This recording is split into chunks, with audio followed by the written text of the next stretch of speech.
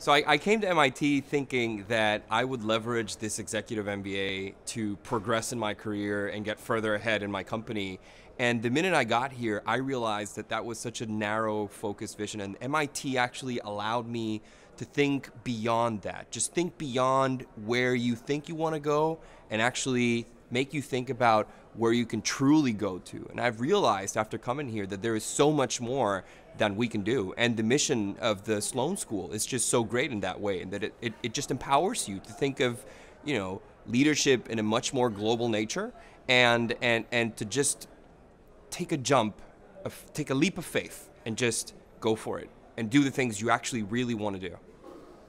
So I'm originally from Mexico, and one of the things that has been a, a, a um, fabulous about the program is the fact that it is so global in the people that are flying in here. I, I've had conference calls with people who are in Saudi Arabia, Chile, southern Texas, and myself in Washington. I'm originally from Mexico. There's people from Mexico. There's people from all over the world here, and we've converged not just in the school, but really in our minds. And that's the network that you get here is the real deal. It's not what you hear in the brochures of other business schools saying, yeah, you know, the network here. This is really great because it's all about senior people who are doing business and who you can start working at just the minute you get here.